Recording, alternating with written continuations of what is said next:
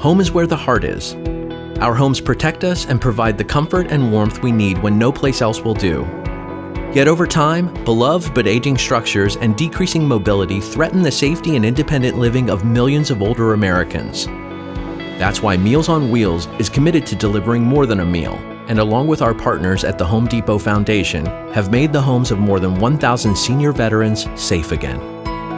It's why veteran Bernardo Romero can stay in the home he's lived in for over 20 years, thanks to updated appliances and floors. And for Mr. Romero, who is completely blind, staying in the home he knows and can navigate with confidence is everything. It's also why 92 year old veteran Helen Crawford no longer has to worry about living in a home without smoke alarms and CO2 detectors. With updated safety features, a fresh coat of paint, and plants in the yard, she's comfortable and proud of her home again. Meals on Wheels believes that all seniors deserve to age with independence and dignity.